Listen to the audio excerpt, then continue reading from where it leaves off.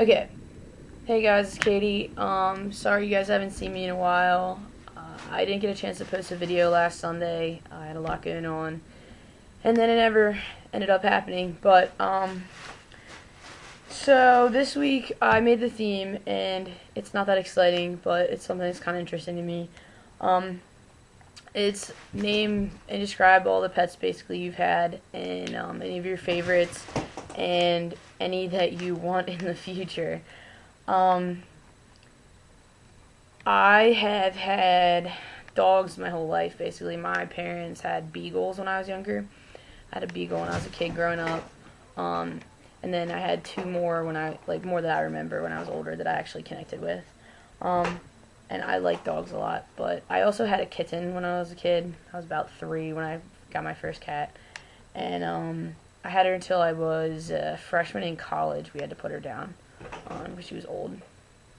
Um, but I currently got have a puppy. Well, she's not a puppy anymore. She's about almost two now.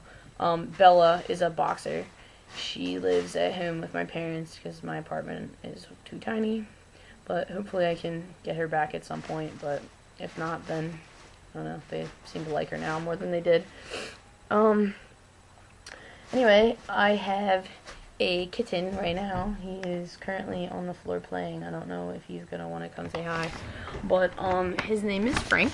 Uh, let's see if I can grab him. Frank, come here.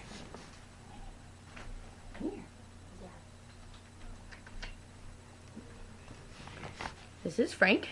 We just got him uh, a couple weeks ago. He is very wound up right now and is clawing shit out of my leg. Um, but yeah, um, I've always wanted dogs though later. Um, I always wanted a boxer when I was a kid, and now that I have one, she's awesome, but she's super wild and crazy, and drives a lot of people crazy, but it's okay. Um, I also want a pit bull at some point. I love pit bulls. I think they're good dogs, but they need a lot of time and um, you have to walk them a lot. So that's a later in life kind of thing. Um, okay, and then for the challenge, I had to um, see if you have any like special talents or or um, I don't know, just anything like interesting that you can do that other people can't. Um, I don't have a whole lot of like really weird talents. Oh my goodness, that's Frank. but um, one of the things that I can do that I don't know a lot of people can do um, is I can kind of do the belly roll with my tongue, which is very lesbian of me, but um, it's something I've always been able to do, and I've never met anyone else that can do this. Um, oh, it